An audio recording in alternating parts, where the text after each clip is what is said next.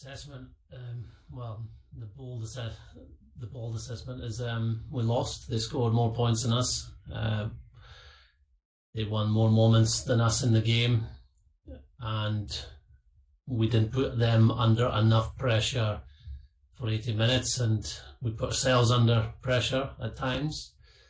Uh, and obviously, France put us under, under pressure, especially when they, they got uh, playing of turnover ball in particular.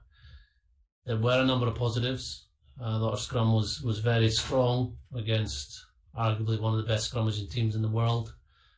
Our maul defence was good too. Um, we just need to trust that a little bit more because we did give away a couple of penalties in that area. And the effort the players put in was, was huge right throughout the 80 minutes. You had the spell when you got within two points. There's a chance there to, to take the lead, but then you've got to try either side of half time. How hard was that psychologically for, for the players? I can imagine it was it was tough for them, um, in particular the try after half time.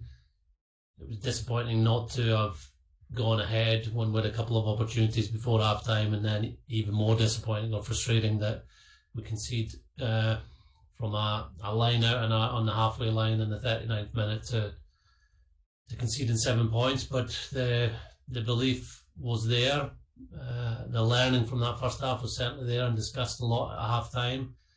And if I remember, the, the French try came from attack around the 22 uh, that we had the ball. So it's you could class it as a breakaway try, um, but that must have been a blow for, for the players on the field. There's been a lot of enforced change, particularly in the pack with, with injuries. Hamish Watson being ruled out with coronavirus. Is is that the changes, the, the depth you've had to go into with your squad there? Is that in any way a, a mitigating factor to, to this result?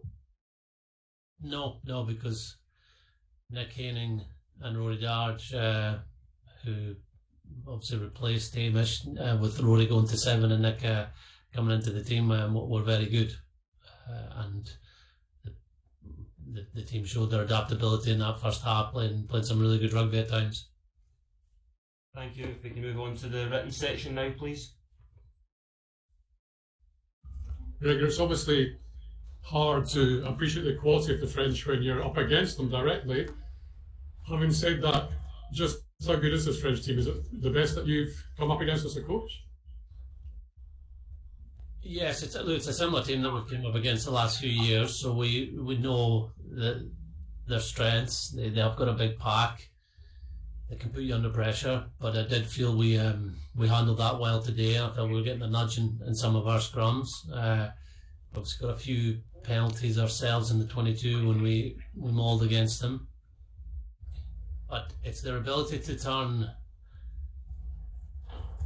good ball into tries, uh, and good ball can come from, from scrums. They look dangerous off their, their scrum attack out wide, and it can come from opposition turnovers. Like that's the best two sources of possession you, you can get. Uh, counter attack ball from kicks is also good, but I think they, they showed how what a good team they are. Uh, their back line, their back line is strong.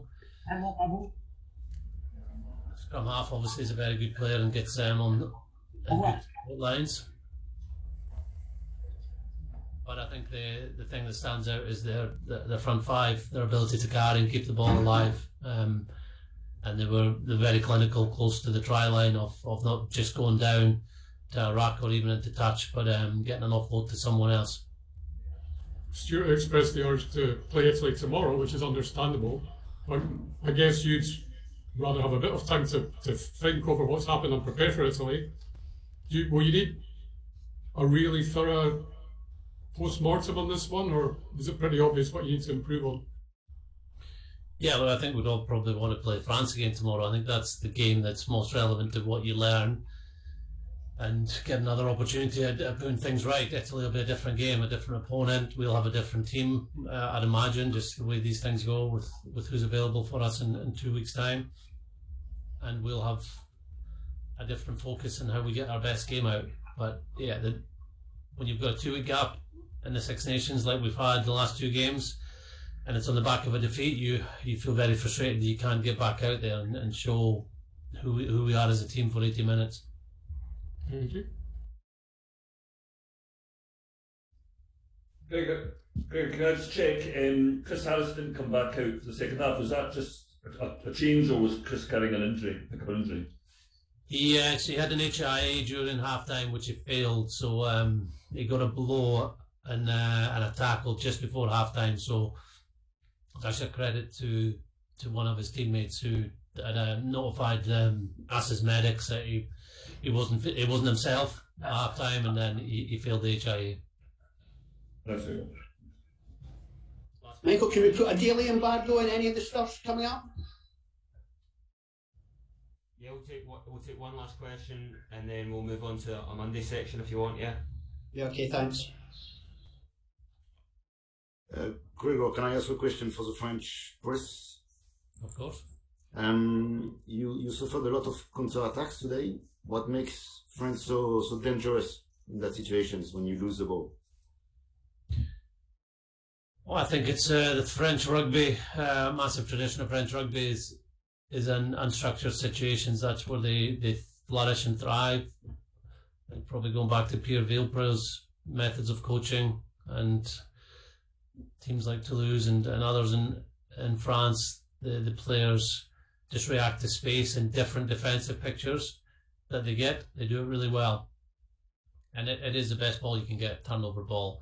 So the the French are probably up there with the All Blacks at being the best at exploiting that, that turnover ball. I feel that the um the front five really adds to it as well. So it's not just relying on the backs or back row to, to make the most of that ball. If you've got a front five that can pass, support, make breaks themselves, and you've got a real 15 that can, can attack.